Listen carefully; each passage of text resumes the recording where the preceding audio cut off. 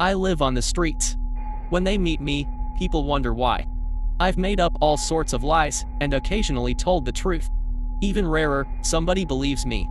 I've finally decided to set it down in writing, to record it for after I pass on, and so that I don't have to repeat the story. Next time somebody asks, they can simply read this. Most people just walk past a homeless person.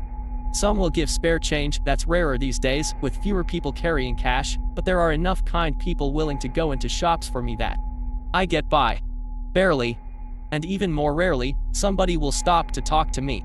Most homeless people I know don't ask, we've all experienced trauma of some kind, and we generally don't like to talk about it. My story is unusual though.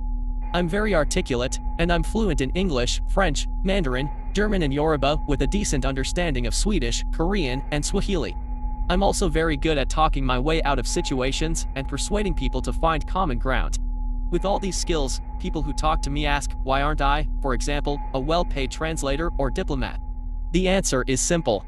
Because those jobs take place indoors, for the last seven years I've lived on the streets of a city in West Africa, I won't name it.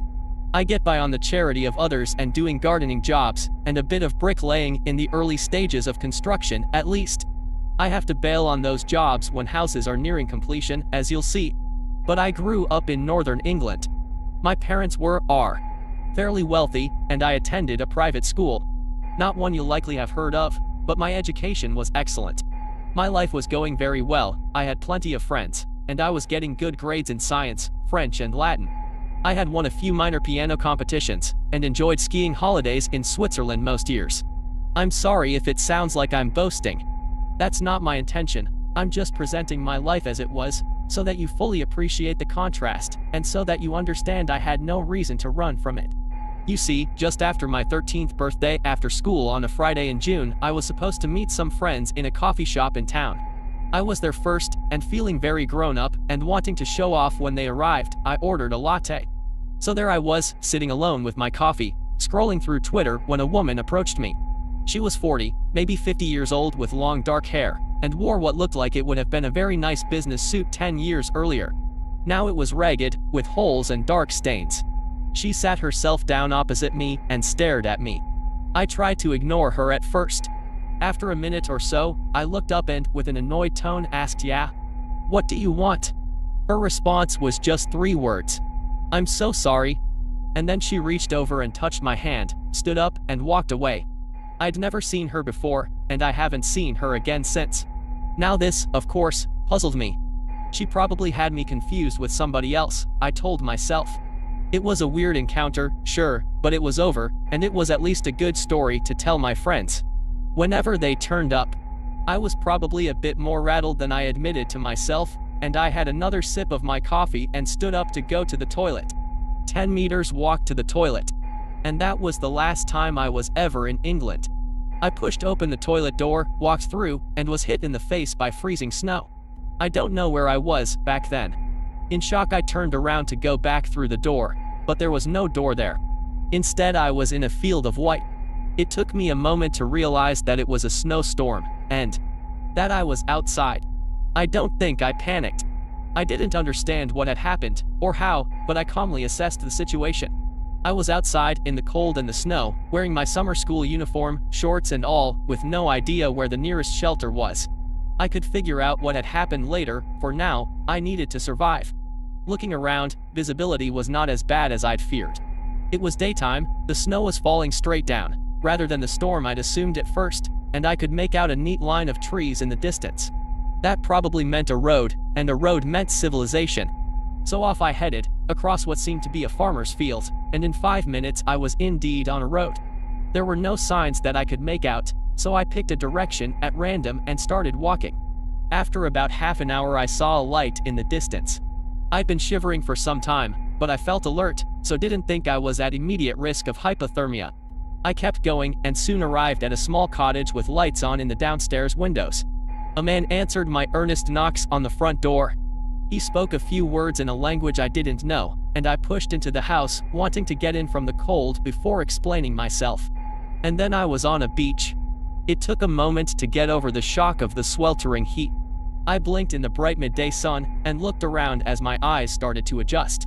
I heard the sounds of people splashing in the water and generally having fun. Tu vas bien. Tu vas bien. A dark-skinned man in shorts and t-shirt was running towards me, asking if I was okay. I suppose I looked quite bewildered and out of place and was probably the only person nearby still shivering. Still confused, but relieved that he spoke French, a language I understood fairly well, I looked at him and tried to explain what was happening. But truthfully, I didn't know what was happening, and I just stared at him dumbstruck. He introduced himself as Louis. I managed to stammer out a where am I? To which he replied that I was on a beach near Port-au-Prince. With me still barely able to articulate myself, Louis offered his help. He asked where my parents were, and when I couldn't answer, he led me to his car, saying that he could drive me to his house and we could figure things out from there. I've since learned that this was a very unwise move. Port-au-Prince, in Haiti, is one of the most crime-ridden cities on the planet, murders and kidnappings are common, and there is a good chance Louis intended to traffic me. But I didn't realize that at the time, and I certainly wasn't thinking straight. I followed Louis up the beach where he led me to a small car and opened the passenger door for me. I climbed into the car and fell quite hard onto the tarmac of a town in the early evening. Now bear in mind that I was 13 years old at the time. In the span of about two hours I'd been accosted by a strange woman, trekked through snow in my shorts, led up a sweltering beach by a stranger, and to top it off, I now had a severely bruised behind. So I think my response to these events was entirely reasonable, given the circumstances. I cried. I looked around, found an out-of-the-way alleyway, hid myself behind some bins, and cried myself to sleep. Somebody woke me by talking loudly. I opened my eyes to see two police, a white man and white woman, standing over me. I knew German only enough to identify the language, not to understand what they were saying. But as I stood up in the chill of the early morning, I suppose they saw my school uniform, and the woman started speaking English. Apparently somebody had seen me there, a child sleeping rough, and called the police. The policewoman was very kind. She asked a lot of questions. Had I lost my school tour group? Where was I staying? Did I know my parents' phone number? I mumbled half answers to her questions and her colleague motioned behind them to the police car I now saw at the end of the alleyway. It was only now that I realized what was happening. Doors were cursed, for me at least. If I tried to get into the police car, who knows where I would end up. For a split second I considered trying to explain things to them, before settling on, again, the only reasonable course of action. It's hard to run from the police, especially when they know the city and you don't but I was still quite small, and I got lucky. I ran down the alley, turned left into a smaller alley, and saw a chain link fence a short distance along. A hole had been torn.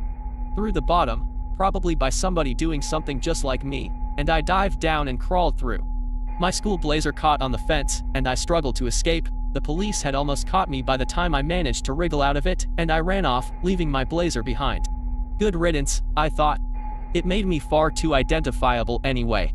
I ran for maybe half an hour, ripping my tie off, now just dressed in gray shorts and white shirt, I looked a bit less like an English schoolboy, it was Saturday, and I was just another German kid out looking for his friends. Germans don't go to school on Saturday mornings, right? I wondered. Whatever the case, I didn't find any more trouble that morning. I still had 30 pounds for coffee and shopping, and I followed the crowd until I found a small street market. One stall owner was happy to take my 30 pounds for a pair of jeans, a t-shirt, and a plain jumper, and gave me 10 euros to buy a small lunch. I'm sure I was ripped off, but didn't really feel I had much choice. To answer the police's question, no, I didn't know my parents' numbers, and my phone was out of charge anyway. I needed a plan. I walked around town, which I learned was called Passel, and found an out-of-the-way bridge near the river.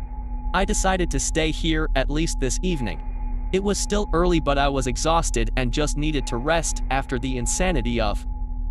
Only, I realized, 24 hours. It was getting dark when I was aroused from dozing. I was sat against a wall in a 90 degree corner when somebody found me. After a similar exchange to the one I'd had that morning, he spoke in broken English.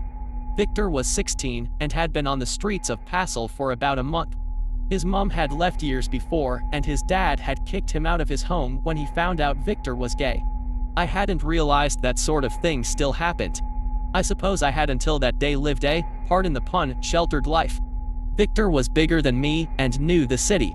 He hadn't lived on the streets that long but he was far more streetwise than I was, and he showed me how to survive. Over the next few months I learned where to steal food, where to beg, where the driest shelters were, and even how to pickpocket. Passel has a small homeless community, but a close one, and I got to know some people very well. It's fair to say. By the time my 14th birthday rolled around, I was much more aware and capable. I learned German and practiced my French with a fellow migrant. I learned how to repair clothes and how to haggle with street vendors. I was still small for my age and found that I could wriggle into and hide in very tight spaces. In short, I proved myself to be useful to the homeless community of Passel. Useful enough that others were very happy to indulge my little eccentricities and would go into shops for me when I needed to buy something. I got blankets and a sleeping bag for Winter and Victor would even charge my phone for me in coffee shops and pubs. It wasn't the life I was used to, but it was a life, and I had companionship. This all changed after I'd been in Germany. Just over a year. It was early evening, about an hour before kickoff at the European Championship final. Germany was about to play Spain, and there were plenty of people in the pubs getting drunk. Easy pickings for a thief. Victor and I had been working together for a year, and we carried out our well-rehearsed routine. We hung around a busy street until I saw two men come out of a pub, one of them putting his wallet in his back pocket as he left. Perfect. I signaled to Victor and started walking behind them. After a few moments Victor bumped into him from the side, giving me the opportunity to lift his wallet. But his friend had turned his head to look behind him at just the wrong moment. He shouted and the two of them turned to me. I ran and Victor ran the other way, but the two men ignored him. I had a head start and thought I could outrun them, but one was gaining on me. In a split second I decided that it would be easier to hide in a crowd and ran for the door of the packed pub the two men had just left. I pushed the door open and hurtled through it. I arrived in Nanjing at night. Of course I didn't know this at the time, but it was a fairly busy street, and I saw the Chinese characters on street signs. I won't go into a blow-by-blow -blow account of my time there, which lasted about a year and a half, but in many respects it was similar to my time in Germany. In a way I was getting used to this, living on the streets is more or less the same in any country. Nanjing is a much larger city than Passel, and quite prosperous, but every city has its down minus. And outs. I sought out the homeless, and while it took me a while longer than in Germany, I learned the language and culture of the place. If you Google it, you might think Nanjing is pretty safe. For the most part that's true, but sleeping on the street is no safer there than anywhere else. I found safety in a street gang, putting the skills I'd learned in petty theft and pickpocketing to use. People come and go on the streets, but I ran with a group of five or six younger people while I was there, even having a bit of a thing with Yin, a girl a couple of years older than me. We would do what we called hit and run, we'd all accost somebody out alone, steal their wallet, and run in different directions. The others met up in an abandoned warehouse some way out from the center of town, and they got used to my weird insistence on staying outside and sleeping elsewhere. Nanjing has a heavier police presence than Passel, but my colleagues knew where they didn't go, and I did quite well until one night in March. We were stalking a couple of drunk men in their 30s and were about to make our practiced move when another group arrived to do the same. I saw the situation developing and signaled my people to move out, our competitors followed us down a side street. They clearly wanted a fight, and two of my friends did as well. I was happy to call it a night and managed to talk them down from a confrontation when Yi Chen, who was always a bit trigger happy, threw a punch at one of the others. Three of them pulled knives from their coats, one stabbed Yi Chen in the gut, and the others went for the rest of us. I ran. I was the fastest in our gang, but one of them was faster than me, and he nearly caught me. Seeing no other option, I legged it towards the main street and made my way to a shop. The staff were just closing up, but I didn't need to get in there, I just needed to pass the threshold. I made it through the door. This time I landed in Sweden in the middle of the countryside. It was early afternoon and sunny, so I walked until I found a road and followed signs to Gothenburg. That was 15 kilometers, and a few drivers offered me a lift along the way, though obviously I declined. I was, in a way, starting to feel quite confident now I'd relocated twice and felt that I knew what to do. Sweden is a nice place, even for the homeless, especially if you're young and white. Strangers were generally kind and I did well there. However, it can get very cold on the streets in winter and when snow started to fall, I realized I wasn't likely to survive until spring. So in November, for the first time, voluntarily, I walked through a shop door and into another country. It didn't help. From the mild first snow of a Swedish winter, I arrived in a forest in freezing temperatures. I'd gone from mid-afternoon in Sweden to evening, so I guessed I was somewhere in Russia, but I couldn't stay. After looking around for a bit, I couldn't find any sign of civilization, so I decided to test my curse. Did that woman, three years earlier, curse me? She had seemed strange but not unkind.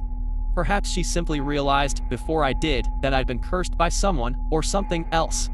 I didn't know, not back then, but I knew a bit about how it worked. I collected some fallen logs and branches, and over about an hour I built a rectangular frame, a doorway. I stepped through. Nothing happened. I arrived on the other side of the doorway. Okay, so that didn't work.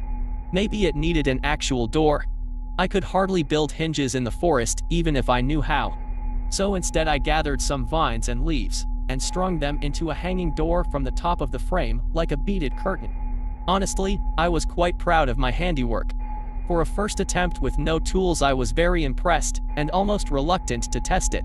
But it was cold and dark and starting to rain, so I stepped through it. It worked, and my next stop was Kenya. I found myself in the countryside on a warm evening, on a farm. I judged that it was a long way to a city, and learned later that I was correct. So I decided to introduce myself to the farmers. They spoke barely any English, and I didn't yet speak any Swahili, but I managed to persuade the family that ran the farm to let me work for them. I'm sure they didn't really understand my motivations, a posh white English boy asking only for food in exchange for his labor, choosing to sleep outside, but they were friendly and happy with the arrangement. Over the next two years I learned how the farm worked, built up my muscles, I'm still small and wiry, but strong, and proved myself to be an able worker. I picked coffee beans, milked cows, fixed fences, and acquired a decent tan. I even occasionally made the journey to a nearby market town, sitting in the back of one of the flatbed trucks. I was certainly a curiosity to the locals, but I was treated well. I would happily have stayed on that Kenyan farm for life. But after two years, something happened. The father of the household was off at the market town, and the rest of us were working the fields. I was bringing several baskets of coffee beans to the barn, and I heard shouting. Mada! Mada! Help! Help! The mother of the household, Anissa, had fallen in the kitchen. From outside I could tell that her leg was bad. It was bleeding severely, and I think I could see bones sticking out. It was rare that there was just one person in the farmhouse, but it did happen. The closest help was probably at least 10 minutes away and Anissa was bleeding too fast. I was the only one who could help, but I needed to get in there, somehow. Obviously the door was out of the question, but the kitchen window was wide open. Were windows safe? The answer, it turned out, was no. I hope Anissa got the help she needed, though I doubt it. But the last I saw of her, as I swung a leg into the kitchen, was an expression of abject terror. And then she and the farmhouse disappeared, replaced in an instant with the nighttime streets of Seoul. Again I had to start over, and again I had to learn a new language. English isn't well spoken in Korea, and it took me some time before I could get on. I made few friends and supported myself largely by stealing and pickpocketing. Without the kind of network I'd built up in Germany and China, things were more difficult. I got caught a few times and escaped before anything serious happened, until after about a year, I guessed that the police had had a few reports of street thefts in my area. I noticed an increased police presence, and one day I just got sloppy. A couple were having coffee outside a cafe at lunchtime. The man's wallet was on the table between them, and I was hungry. I pulled my hoodie over my face, ran, and grabbed the wallet. While I was running away I pulled the cash out, throwing the wallet on the ground. Then 10 minutes later, the police found me. I'd found another cafe with outdoor service. It wasn't far enough away, and I guess I hadn't hidden my face as well as I thought. I wasn't in a tourist area, and it was pretty easy to identify the only white men around, especially as I was wearing the same clothes. I saw two policemen walking towards me and started to run, but this time they were faster. They tackled me to the ground and bundled me into their patrol car. It was dark. Too dark to see anything. At first I assumed I was on the other side of the world at night, but as my eyes adjusted, I realized I was underground. I was in a vast cavern. There was minimal light, coming from a few burning torches in the distance. The ground was rough but solid, and the air was chilly, but no colder than the average night on the street in most towns. I could make out very little at first, and decided to head toward the torches while I figured out what my new situation was. As I got closer I realized the torches surrounded a pit, and I could make out people under the torches. Some of them looked up as I approached, but they didn't say anything. All were inside the pit, which I could now see covered a rough square maybe 30 meters to a side. And then I heard something else. A kind of chittering. To the side I saw creatures. Not human, nor like any animal I've ever seen before. They were about a meter tall and walked on four chitinous legs with two arms in front of them. Their bodies were black and glossy, and their heads had large jaws and mandibles. In science class years ago, we had a few stag beetles in a fish tank, and these creatures reminded me of those. The beetles came towards me. There were six of them, and while they were smaller than me, they quickly overpowered me. All the while making horrific clicking and chittering sounds, they took me to the edge of the pit. Two more beetles standing. They pushed a long wooden ramp down into the pit, and the others pushed me down it, and then took the ramp back up. I was stuck, or so it seemed. The walls were too high and smooth to easily climb, and I now noticed several more beetles standing guard at intervals along the wall. Even if I got out, I had no idea where I was or what kind of problem I'd found myself in this time. The humans I was with numbered about 50, quite diverse, but young, there were teenagers and people in their 20s, but no older. At 19 I was pretty much in the middle, age-wise. A woman approached me and started speaking French. Great, at least I could understand her. It's impossible to tell time down in that underground cavern, but I gathered it was about the start of their effective night time. The woman, who introduced herself as a Parisian named Josie, explained that the beetles used them for labor and other things, although she refused to elaborate on what other things meant. They kept them fed, made them work for half the day, but otherwise more or less left them alone. Josie introduced me to the others, showed me to the food, almost exclusively berries and mushrooms, and told me to fill my belly and rest as well as I could, as I would be put to hard work the next day. She was right. The next day I was woken by a human, Carl, shaking me. The beetles had already set up the ramp, and were bringing us up in groups of four. I had no intention of being used as a slave, but decided against taking action until I figured things out a bit more.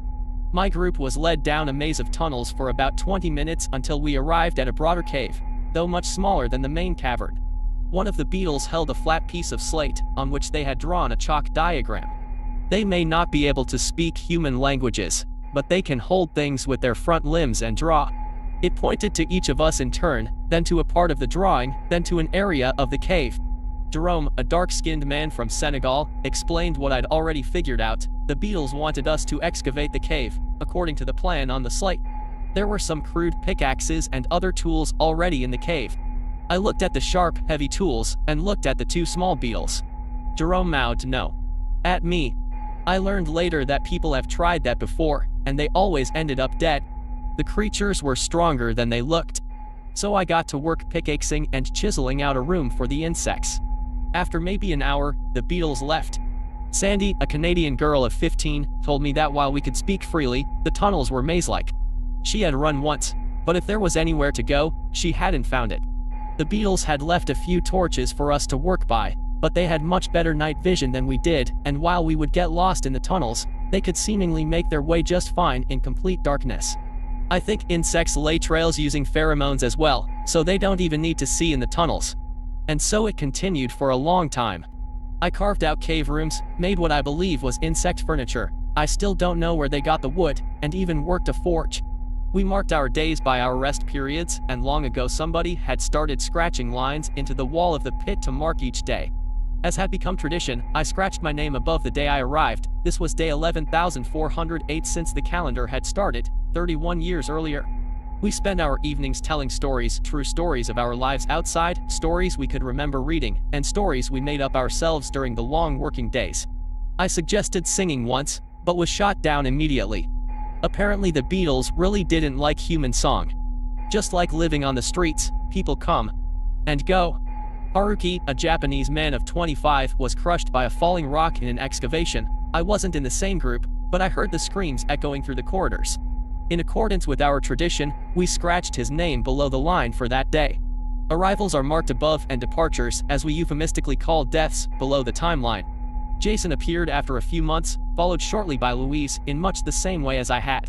And then Caroline, a 16-year-old girl from Mexico, lost it when we were being corralled into the pit at the end of the day. Everybody can snap if they're pushed too far, and as she reached the ramp, Caroline screamed and shouted, then ran into the darkness. Some of the insects followed her, and this was when I learned how fast they can move. They caught up with Caroline after only a few seconds and dragged her to the edge of the pit, pinning her down until the rest of us were all in there and they had pulled up the ramp. More beetles had arrived and then, in full view of us all, they ripped her apart. Her flesh tore as mandibles slashed into her body. I watched, incapable of help but unable to look away, as she screamed in agony until her windpipe was severed.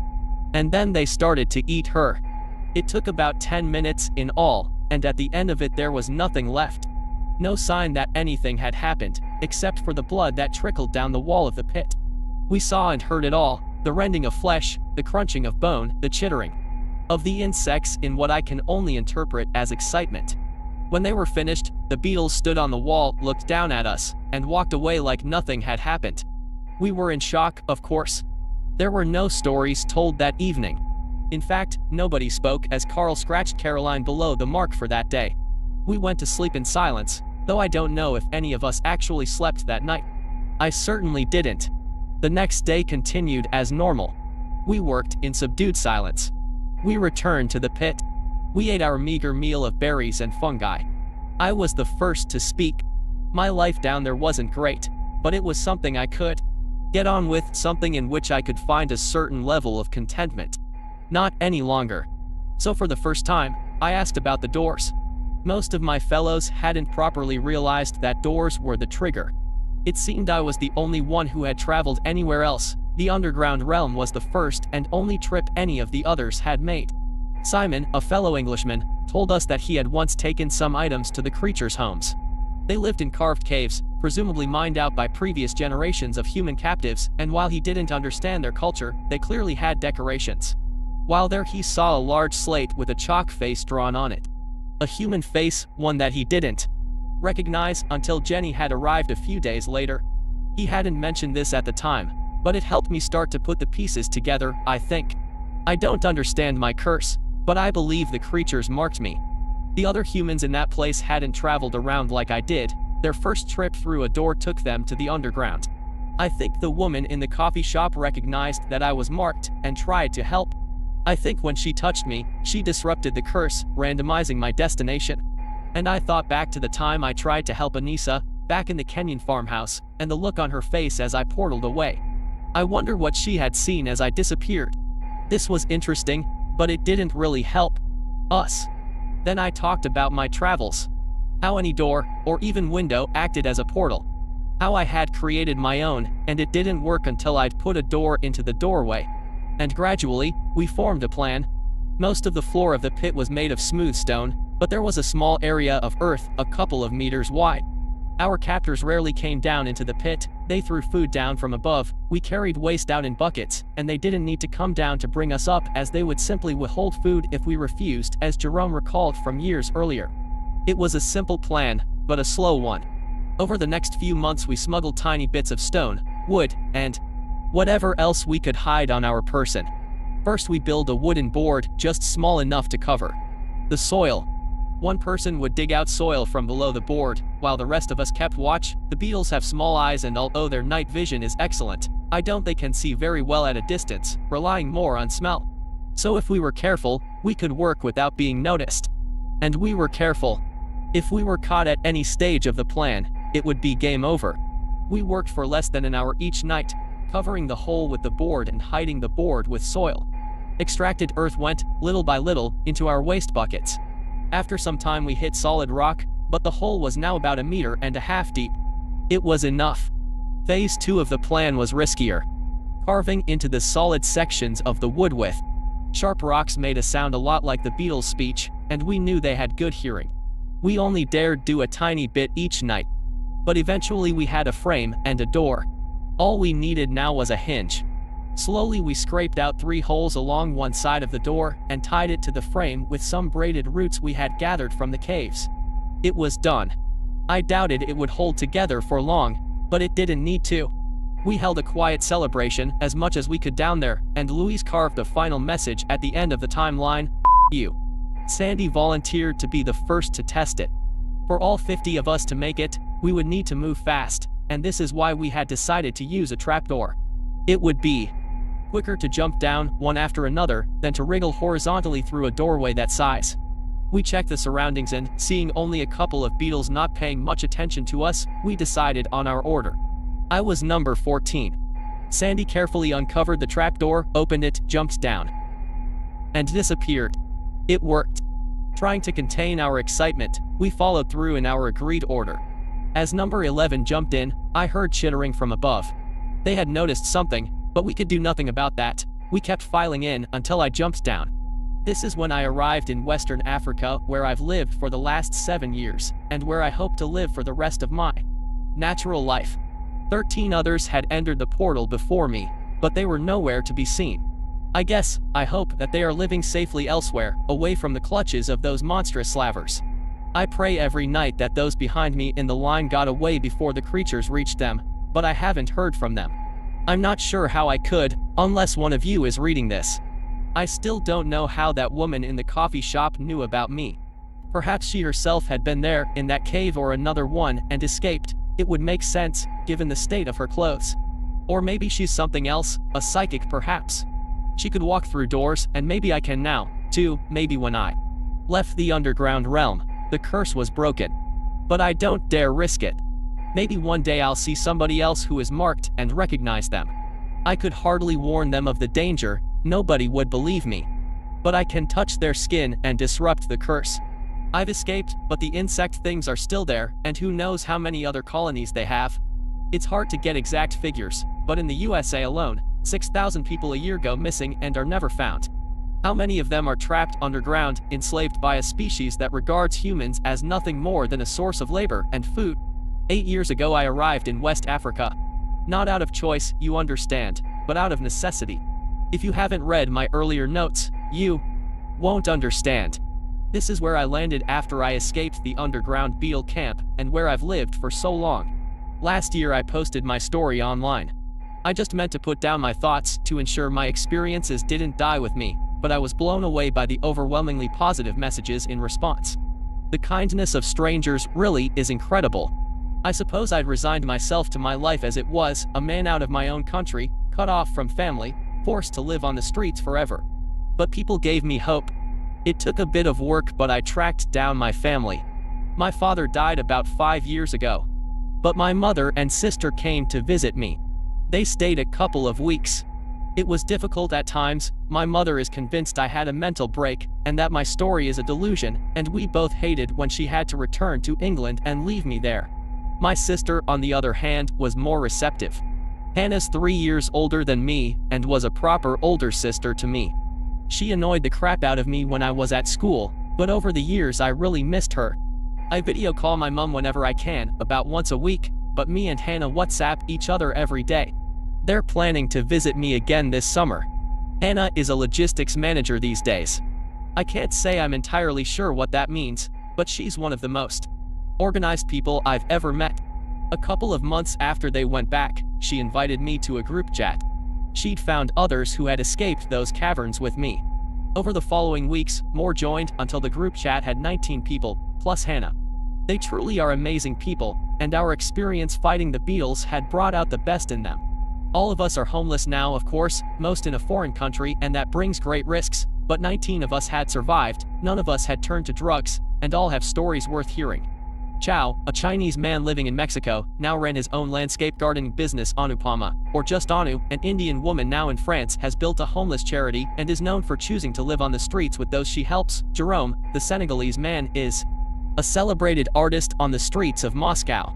Each of us is fluent in two or more languages, and at least passable in English. We all remember the number we assigned ourselves, the order in which we escaped from the cavern. The last of us to escape was Rajinder, an Indian man who I remembered as a boy of 16. He had been number 26, and had watched as several beetles jumped down into our pen and scuttled towards the remaining humans. Our friends. Josie, number 24, escaped just as the beetles reached them. Evander should have been the 25th of us to escape, but instead he was impaled by the sharp leg of one of the beetles and fell to the ground. Others near Raj were injured, Raj himself was slashed across the arm by the serrated edge of a beetle forearm. Surrounded by shiny black death now, he threw himself headfirst into the door, injuring his head as he arrived in the Vietnamese countryside. He doesn't think anybody else escaped after him. 25 of us got out of the caverns. We don't know what happened to the other six, they could be dead, or perhaps Hannah just hasn't found them yet. We all arrived on land, but who knows where the others came out? If they found themselves in Antarctica, say, or Death Valley, they would have had little chance. I don't think we'll ever find out for sure. So here we were, our group of 19. A few of us have studied insects over the years no, Nita told me, it's entomology. Etymology is the study of words, or geology, to try to make sense of our imprisonment. Some have tried to forget their time below ground, but none of us ever really could. And as we talked, our discussions adapted and evolved. Anna set up a Discord server called Beetle Survivors Social Group, but that wasn't enough for her. She sent smartphones to those who didn't already have them. I have no idea how she got smartphones capable of accessing Discord to our members in China and Russia. She sent cash as needed and tracked down most of our families, arranging calls and even visits. And one day, Hannah renamed the server Beetle Survivor Support Group. We talked about our experiences. I posted my story on there, and others wrote up their own. Nita wrote about her research into beetles and how the creatures we encountered must have different biology than the insects known to science. Jerome sketched the beetles excellently and worked with the biologists to figure out how their bodies probably worked. Jason, Angelique, and I drew maps of the caverns, as best we could from memory. Some of us wanted to move on from our experiences, but had spent the last eight years unable to, we all still had nightmares from time to time. Some of us felt frustrated, unable to do anything about the underground insects. And some of us were angry. People began posting fantasies about fighting and killing the beetles, how we could do it, how many we could take down, how we would celebrate over their chitinous corpses. Soon enough, somebody, I think it was Chow, renamed the server again. Beetle Survivors Revenge Group. Fantasy turned into conjecture, which became plans. Frustration became hope, and anger evolved into determination. I'm still amazed that all of us decided to go through with it. We talked about the problems and hazards, we planned our equipment lists, we worked through our ideas, picking holes in and improving each other's suggestions. But in the hundreds of hours of planning, I never once heard the words it's too dangerous. We were as one, a crack unit of commandos, ready to wage war. The date we chose was the 3rd of March, for no particular reason other than we were ready. At exactly 2 p.m. Ghana time, that's where I lived, all 19 of us walked through a door. It was dark. It would take some time for my eyes to adjust from the bright West African sun I couldn't see anything at first, but then there were a couple of clicks, and flashlights blazed into life near me. We came together, and took stock of our situation. There were only four of us in the cavern. Feb, a Russian woman, Bishandu, an Ethiopian woman, and Carl, the American who had woken me on my first morning underground. Feb and Carl turned off their flashlights and we looked around, listening carefully. There didn't seem to be any beetles near us, presumably because they hadn't been expecting arrivals. We quietly moved together, looking for the wall of the cave. The caverns were once natural, but they have been worked by human hands over many years, being expanded and smoothed over. This worked to our advantage as we traversed the largely stone-free floor and eventually found the relatively flat cave wall. We worked our way along it, still mostly by touch rather than sight, and soon came across an opening. A corridor. A short way down the corridor we found another opening, coming to a small, empty room. We settled down and went through our equipment. Feb turned her torch on. We needed to see, but this made us very uncomfortable. How I would have loved to be able to close the door to prevent the light leaking out into the corridor. But the beetles don't have doors, and even if they had, we wouldn't have been able to use them. Bisha and Carl had brought several USB battery packs. We each fully charged our phones before stepping through the doors, but we had no idea how long we would be down there. We turned off all our phones except for Carl's, which he set to power saving mode. We all had battery powered flashlights, and Feb had a lot of spare batteries. They should last a while, Carl was in the army when he was kidnapped and had explained to all of us what sort of food we should bring, so we all had a couple of weeks of high-calorie food in our backpacks. We also had weapons. Bisha was a markswoman and had a hunting rifle and a pistol with a lot of ammunition. Carl had been working in a quarry and had brought his powerful granite-breaking pick. Feb had somehow managed to acquire a couple of fire axes. And I, well, as an occasional gardener, I'd managed to pick up two machetes and four billhooks. Not everybody has heard of billhooks. They're used to cut down small trees and undergrowth, and those I had sported a 10-inch serrated blade, viciously curved at the end. I figured they would be excellent for severing the limbs of the beetles, and I had a decent amount of experience with them, although only against saplings that didn't fight back. There were 19 of us who entered a door a few minutes earlier. Feb, Carl, Bisha and I had arrived down here very close together at the same time, but there was no sign of the others. Our group had a variety of personalities and reasons for coming here, some were angry, some wanted revenge, some were driven by a desire to make the world safer, but I knew everybody well and I don't believe anyone bottled it, certainly not 15 of us. Perhaps we might find the others elsewhere in the cave, but for now, we had to assume that we were the only ones who made it. Fortunately all of our equipment came with us, though it was a shame we didn't have just flamethrower. We had hopes to have enough armed humans for a proper assault, now we had to change our strategy. Carl was the best of us to plan, he had been on active duty and experienced combat in a small group. The most important thing right now, he said, was for us to get the lay of the land.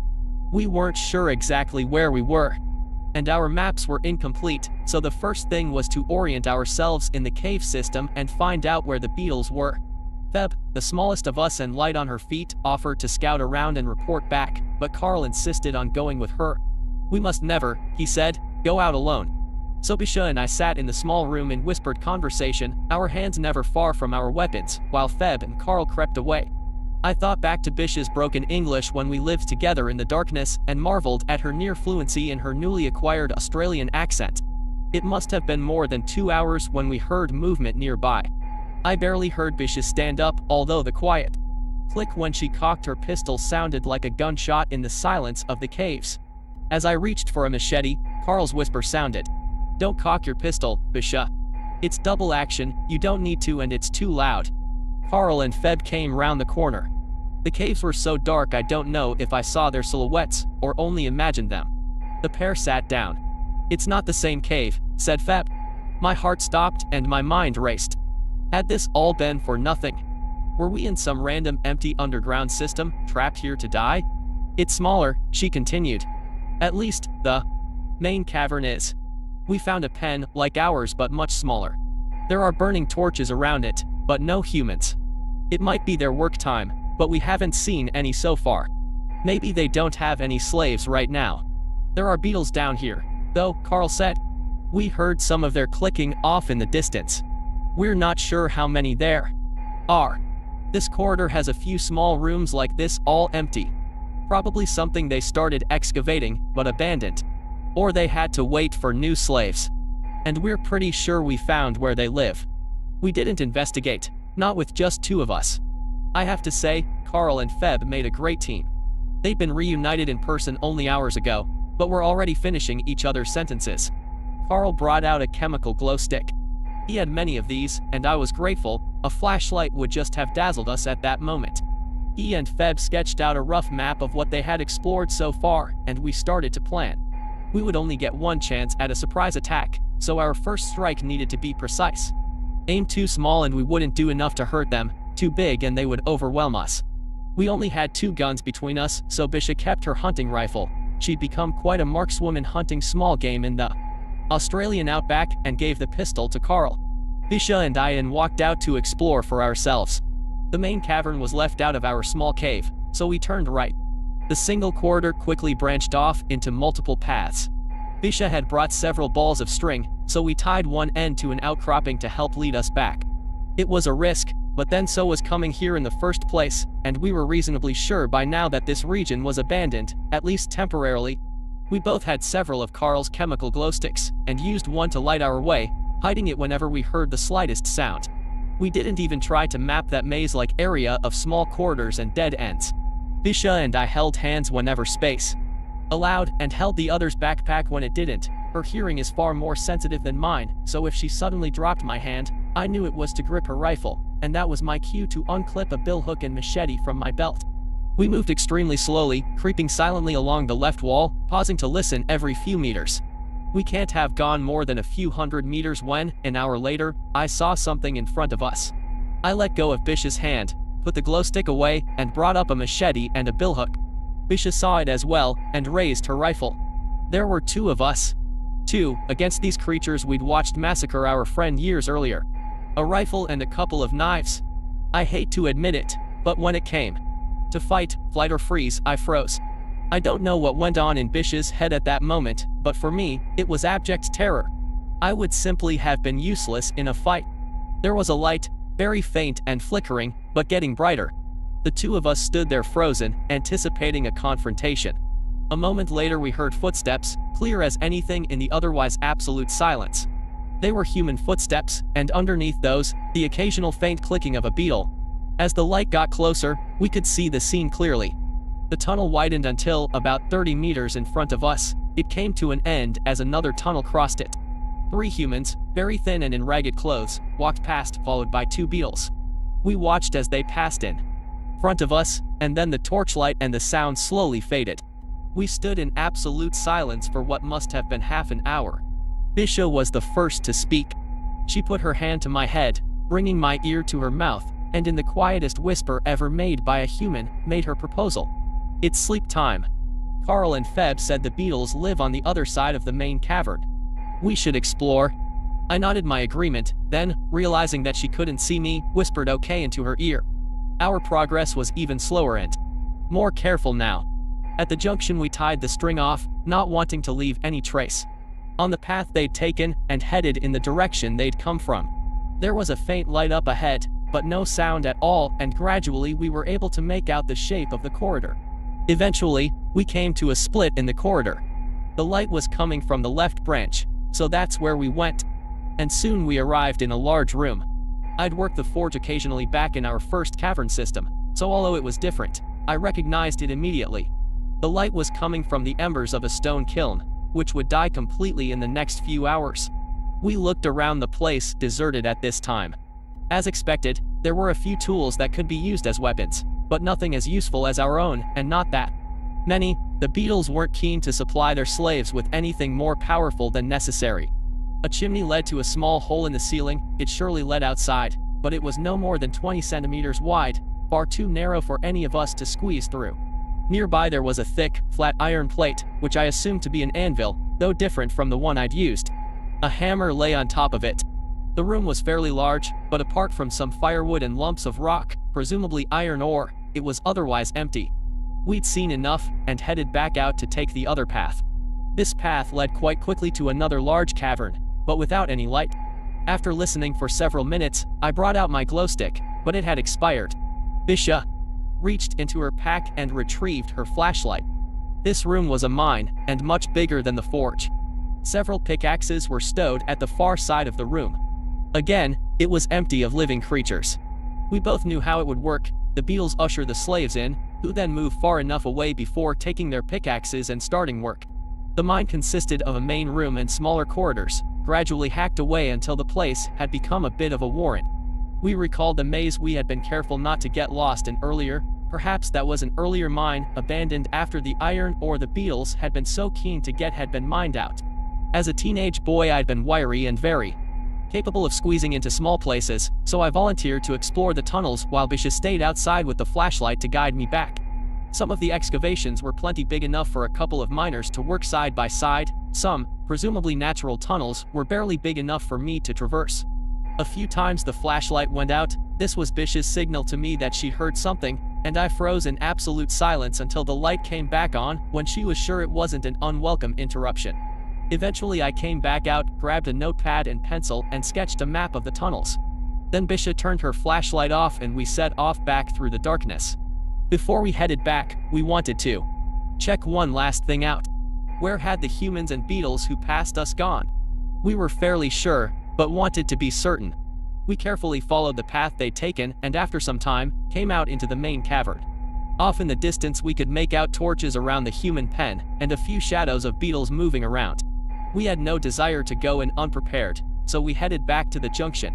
The string guided us home, and, exhausted, we were reunited with Feb and Carl. We compared our maps. We were fairly sure we had a pretty comprehensive map of most of the complex, with the notable exceptions of the maze Bisha and I had found, and the presumed living quarters Feb and Carl had located but not entered. We started to make a plan. Feb was the most vicious of us eager to just start hacking limbs off the beetles, but she gave way to Carl's expertise in warfare. I pointed out that we had never actually fought a beetle, and it would be good to strike small at first. Eventually we came up with the first part of a plan, ate a good amount of food to keep ourselves strong, and went to sleep. We spent the next day waiting. Our timing was off, and the slaves would have been at work already by the time we woke up. Feb had actually brought a pack of cards, and by the light of a single flashlight, we each taught each other various games. We slept again, awoke in plenty of time, and the four of us made our way to the mine. It was empty as we expected, and we each hid ourselves from view in the larger mined-out tunnels. An hour, maybe two, in utter silence and darkness. Then we saw the flicker of an orange torchlight. I steeled myself, reminding myself that we had four of us. I'd put on a big show of bravery, but honestly, if there weren't weren't two people with guns, I don't know if I'd have been any use at all. Bisha, Carl and Feb were completely hidden, only I had a view of the entrance. Five humans entered, followed by three beetles. Bisha and I had hoped for just two beetles, like we'd seen leaving the last time, but this was our best chance. I waited for the humans to cross the main cave to their picks, then shouted now. The four of us turned on flashlights on the floor and leapt into action. Feb and I moved to the sides and held back, while Bisha fired her hunting rifle. She was an excellent shot, striking one right in the mouth. That would have taken down a human instantly, but the beetles were tough and it screamed and lunged forward. Or at least, I assume the high-pitched screeching was the beetle equivalent of a scream. Carl unloaded all eight shots of the pistol into the injured beetle's head. The crack of chitin splitting apart rang across the cavern, and the insect collapsed to the ground, just centimeters from me. One down, two left. I had a billhook in each hand. A beetle was right in my face, I'd forgotten just how fast they can move, and plunged its front claw. At my chest. I leapt back just in time and swung my right bill hook at its extended claw. I connected, and using the hook to keep its claw out of the way, stepped sideways to attack its nearest leg with my left bill hook. I hooked and pulled with all my strength. The leg popped out, clattering across the floor. Black stuff oozed out of its abdomen. It swung its other front claw at me, but it was unbalanced now. I parried with my left bill hook and released it from my right, using it to strike its mandibles from above. One was severed instantly.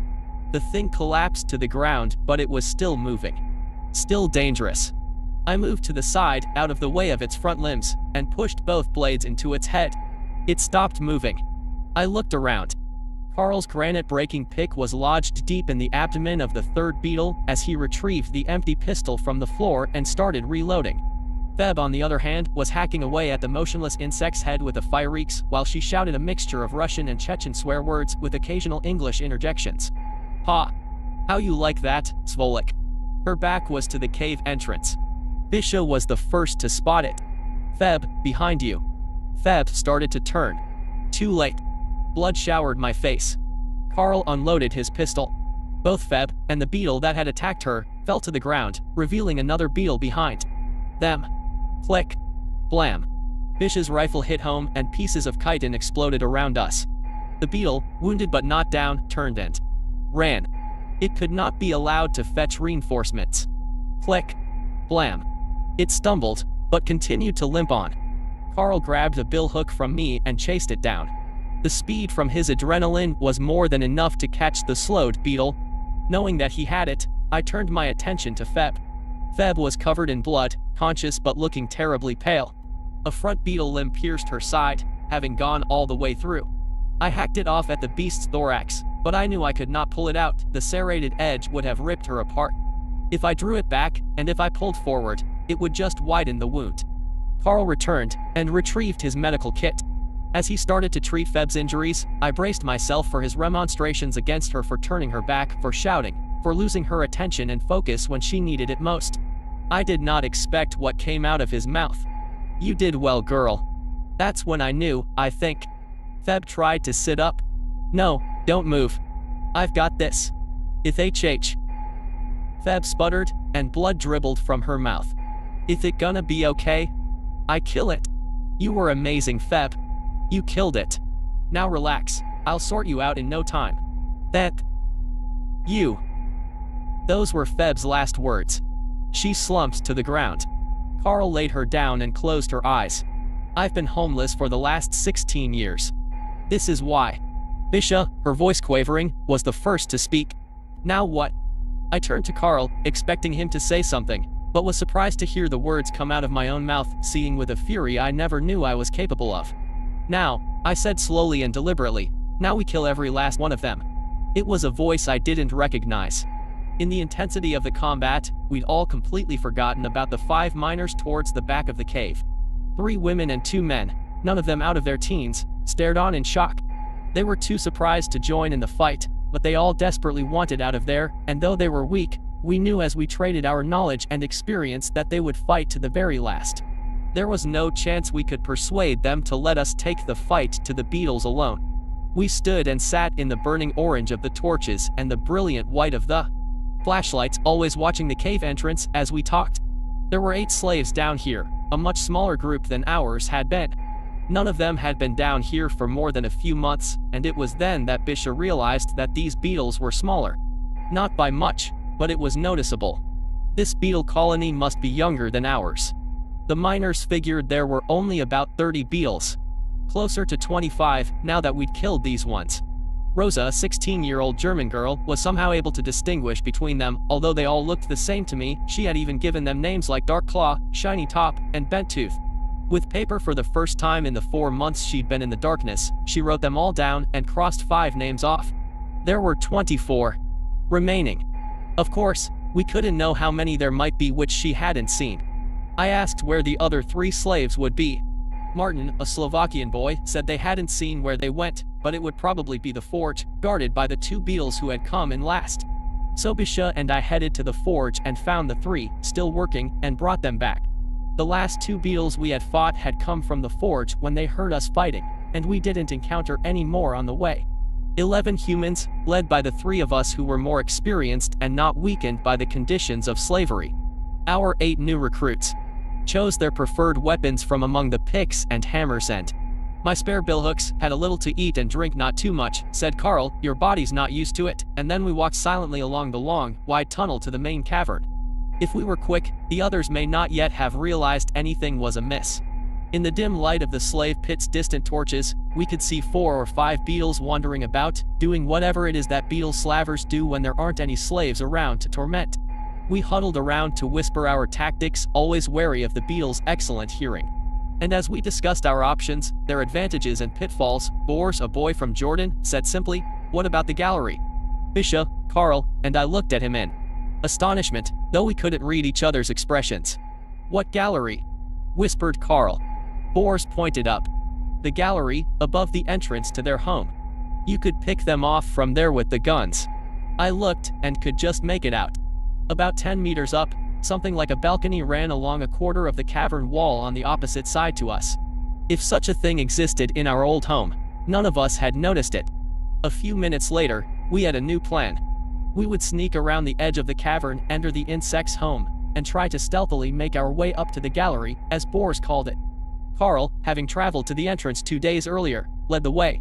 In absolute silence, trying not to breathe or even emit any smells, and occasionally freezing if a beetle looked like it might get too close, it took us maybe half an hour to travel a hundred meters.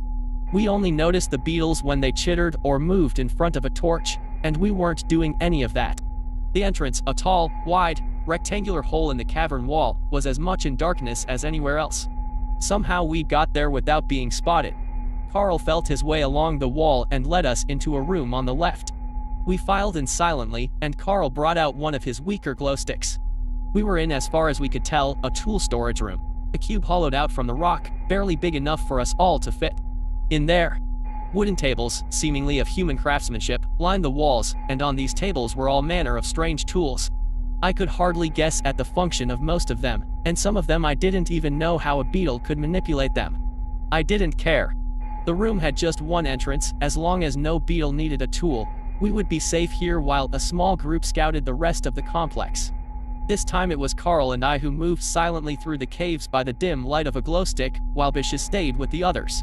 There were a couple more rooms storing various equipment. In one, we found obviously human artifacts, such as watches, credit cards, and mobile phones. We made a note to lead the survivors through here when we were sure it was safe. A long corridor led past these rooms and to a crossroad. We took the left path first. In the living area, there were occasional patches of some sort of gently glowing moss, barely enough to see by, but it meant that we could usually get away with putting the glow stick away. We soon came to an opening on our right and carefully stepped through. I froze, and I can't speak for Carl, but my heart dropped into my stomach. The faint light of the moss in the room shone green reflections off the glossy armor of maybe a dozen beetles. Carl and I stood motionless for what seemed like an eternity, until I felt a gentle tap and then a tug on my shoulder. Very carefully, very slowly, I edged back out of the room and we made our way back to the crossroad. In furtive whispers, we discussed what we'd seen. The beetles were laying on the ground, on what looked like a bed of dried leaves and undergrowth. I recalled a suggestion by Nita that beetles as large as these would use a tremendous amount of energy while active, and that they may sleep a lot more than humans. Carl proposed that if there were indeed about 30 beetles, it seemed that only half or a third were awake at a time. We decided to leave them alone for now, and continue exploring. We crept back down the corridor, past the sleeping area, and came to a small room just before the corridor bent around to the left and started to rise. We guessed it would take us to the gallery and decided to check out the room before making our way up. This room had a bit more moss. I could make out Carl's face and the smooth round walls of the cave, which was only about 6 meters across. In the middle was a raised platform, about waist high to a human. For some reason the thought of a baptismal font came into my mind. We edged slowly towards it. The platform held a rocky bowl, about 40 centimeters wide, filled with water. The water seemed to reflect more light than it had any right to. And as I peered into it, I did not see my reflection. I saw somebody else's face. She was about 20 years old, with pale freckled skin and curly hair. I didn't recognize her. I asked Carl what he saw, and it was the same. Then he pointed to another platform, a small table, on it were a few pieces of chalk and about a dozen slates. The topmost slate held a drawing of the same girl we saw in the bowl. This was it. My heart pounded. This was how they got us. I couldn't fathom how it would work, but they used this bowl, or one like it, to seek us out, mark us, and bring us here. The slates must be part of it. Perhaps they saw many people in the bowl and drew the ones they decided to kidnap. I whispered excitedly, we could destroy the bowl and stop at least this beetle nest from bringing anybody here. Carl disavowed me of that idea. It would be a simple matter for the beetles to just rebuild. Like I'd said just a few hours. Earlier, we needed to get rid of them all of them. For now, then, we would continue our exploration. We could always come back. We left the round chamber and continued on, along and up the tunnel. We were right. The slope led us up into the main cavern. We made sure the gallery was empty, then lay down and peered over the edge. Watching from safety, we realized there were only three beetles on patrol down there. 29, minus the five we had killed and the three on patrol, left 21 unaccounted for, at least half of which we'd found sleeping. A tug from Carl. We were on the rightmost edge of the gallery, so every so slowly, and, keeping as low as we could, we hugged the wall and edged along it. As we suspected, there was another corridor leading down from the far end of the gallery. We had crossed over the entrance to the living quarters and we're on the other side. We've been gone quite a while now, and Bisha and the others might be getting worried. We agreed to explore this area and head back. Several twists and turns later, the corridor widened and straightened, and I estimated we were back on the same level as our companions. Dimly illuminated in front of us by the occasional patch of glowing moss, we could see three openings on either side of the corridor. This time I was the one to touch Carl's shoulder. I'd heard movement, we watched in silence, Carl pointing the pistol, me with billhooks in each hand. Three doorways down, a shadow. Quiet chittering. The faint outline of a shiny black carapace. Moving, where? We stood as quiet and motionless as statues. The outline got smaller. A few moments later, the shape rounded a corner and was gone. Ten minutes later, Carl and I dared to breathe again. Carl stayed put while I gingerly pushed forward and moved my head into the nearest doorway. No beetles. I did the same for all six entrances, keeping well enough to the side to give Carl a good shot if he needed it. All were now empty. I returned to Carl and we entered one of the rooms. I'd taken the beetles for Bronze Age creatures, but what I saw blew that notion out of the water. Now granted, my understanding of tech trees is limited to playing Civilization IV when I was 12, but these guys were well into the Renaissance age and maybe a lot further. Glass jars and tubes indicated they knew chemistry. Samples of strange powders lay in shallow curved pots. There was a setup of lenses, which I took to be a form of microscope. We moved on to another room. Here were gears, some sort of half-finished clockwork contraption. I'd seen the beetles grip things, but had no idea they could be so dexterous. I made a mental note to examine a front claw if I got the chance. Another room had something I remembered from back in school. Different colored metals, placed in a rectangular box full of liquid, and metal wires coming out of them. The beetles were making electricity. The other rooms had contraptions neither Carl nor I could even guess at. They were clearly scientists, some of them at least. I would have found it difficult to operate their machines with my human hands. Their inventions were obviously designed for beetles, but their purpose eluded us. We didn't stay long, ever wary of the slightest noise. Besides, we'd been gone maybe two hours at that point. At the end of the corridor, another passage went left and right. We very carefully peeked around the corner, no beetles, and not too far. Away on the left, we could just make out the crossroads from earlier. Slowly, silently, we crept back, made a left turn, and returned to the group. I'd been a little worried that they might have got impatient, or assumed us captured or killed. But there they were, some asleep against the walls, some playing cards in the dim light of a blue glow stick. Bisha got up and gave me a long hug. Are you okay? Did you find a way out? Carl and I woke everybody and drew a map. The storage rooms where we rested, the strange bowl of water, the bizarre science laboratories, the gallery, with entrances at either end, and the room where many of the beetles lay sleeping. We get them. Now, before they wake up. It's near the end of the workday. It was a boy about 18 years old, whose name I hadn't caught yet. We need a plan, Carl said. We can't go rushing in minus. But it was too late. The boy had already stood up and was on the move as quickly as a person can move without making a sound. Bisha turned to Carl and I we have to. So all 11 of us grabbed our equipment and stealthied away. Carl put a hand on the boy's shoulder and persuaded him to listen to his plan. If the plan hadn't involved killing the beetles immediately, I doubt the boy would have slowed down. When we got there, it was clear that the beetles had moved.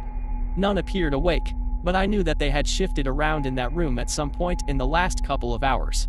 At Carl's direction, we moved silently into the room, shifting around to position ourselves in pairs near a beetle. But we weren't all in position yet. A chittering came from outside. The beetles started to move all at once and were upright in less than a second. I'm not sure what happened next, everything moved so fast. I swung my billhooks. Muzzle flashes lit. Up the room and rang in my ears. Curses in half a dozen languages. I tripped on the leg of a beetle. It pinned me to the ground. Mandibles snapped centimeters from my face. Helplessness. I was dead. Bang. Bang. The beetle's head exploded. I pushed it off me, got to my feet. Another was next to me. Pincer slashed my arm. Billhook swinging right and left, its legs ripped off.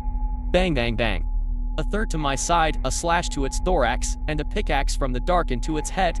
The next, where was the next? I saw nothing. Bang. Blinded by muzzle flashes, I could make out nothing else. Three strong light sticks hit the floor, and two flashlights searched the ground. Chitinous limbs lay scattered about. Black fluid oozed like ichor from dozens of wounds. And there, a human arm, a foot, a leg with bone sticking out. Did any get away? Carl made no pretense at stealth now. I don't know.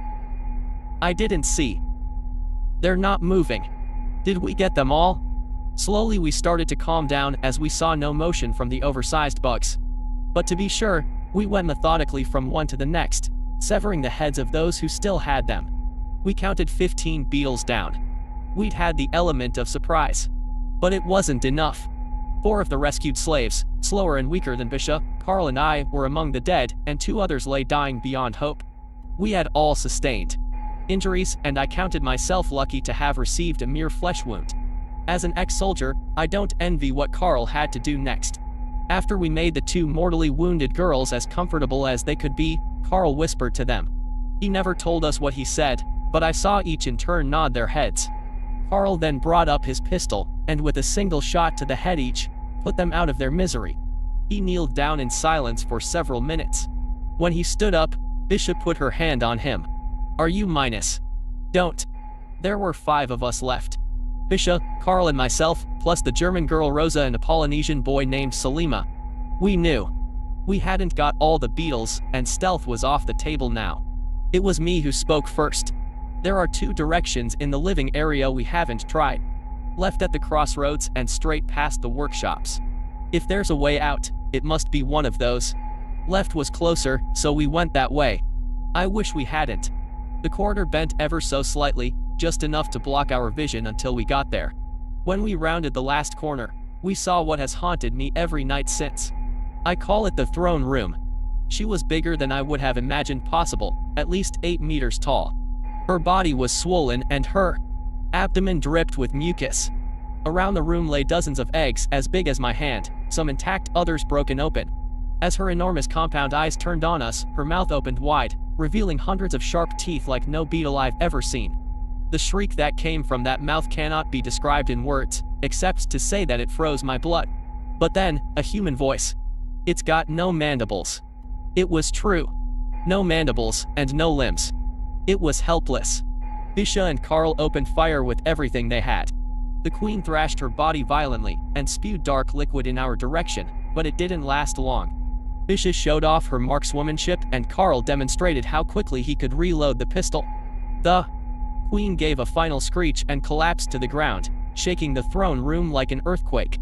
Helpless, I thought. I was wrong. Salima had caught the worst of the sticky black substance the queen had sent our way and was down on the ground, struggling to move. And then we heard it. Hundreds of chittering, clicking insects came from all around the room minus. And Salima was their first meal. The beetles that swarmed him barely came up to my ankle, but there were too many of them. Salima was dead in seconds, or at least, I hope he was. Run, said Bisha, and none of us argued. There was only one way to go, one corridor we hadn't tried. We made it to the crossroads and Carl threw an industrial glow stick ahead of us as we turned left. More beetles, adult-sized, were speeding towards us. We ran with every ounce of strength down that corridor. We didn't know if was our best option, just that it was our only option. As we fled, Carl and Bisha turned to take shots at the enemy. We hurtled past the corridor that led to the workshops and into the unknown. Even with the covering fire, the beetles were gaining on us. But after 50 meters, we saw a light up ahead. I grabbed a flashlight from Carl's belt and pointed. The tunnel ended ahead of us and another tunnel continued, nearly 2 meters above us. A tunnel made of earth and roots. A tunnel through which shone daylight. With an almost inhuman burst of speed, Rosa leapt and scrambled up the wall and into the earthen tunnel. Go, Bisha.